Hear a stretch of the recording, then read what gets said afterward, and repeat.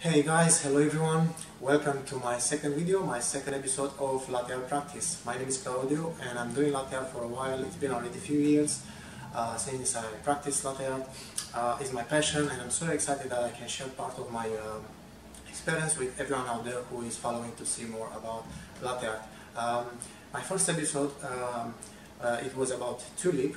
So please go on my video section and you'll find for sure. Um, today, guess what? We're gonna pour Rosetta. So keep an eye until the end. If you enjoy it, please leave me a comment or subscribe my channel and click the bell to be on time with my future posts. Thank you so much. Enjoy it.